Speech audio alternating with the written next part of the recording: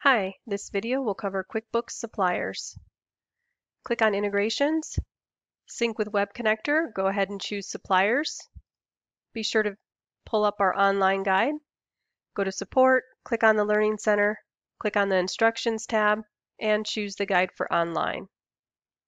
Scroll to the Suppliers section. So in QuickBooks Online, you can go to Expenses, Vendors to find your current supplier list. So here under expenses, click on vendors. Here's your current list. On first sync, you are going to be prompted the same way as clients to go ahead and match your suppliers. So under suppliers, prepare the supplier sync.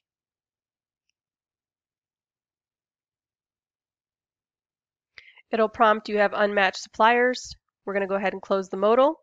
Click on match suppliers.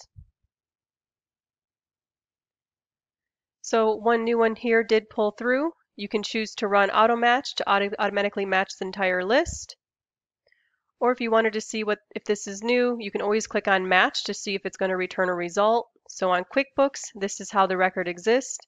You can select a ProjX360 supplier to match.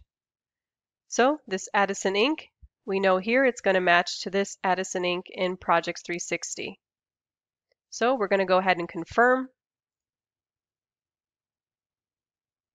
So that has been matched. So now that's complete. Go back under the guide. So after that match process is complete, on your next sync, the ProjX360 suppliers that do not exist in QuickBooks will be pushed up to your QuickBooks vendor list. You will not have to match these new records. These will auto match for you. So going back into ProjX360, we're going to go ahead and try again. We're going to try for the suppliers. Prepare the supplier sync. And as you can see here, it went ahead and added one new supplier and updated 70 suppliers that already existed.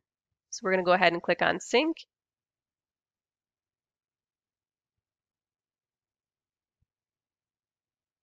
And once this process is out, that one supplier is going to get added and those 70 that already been matched previously will get updated.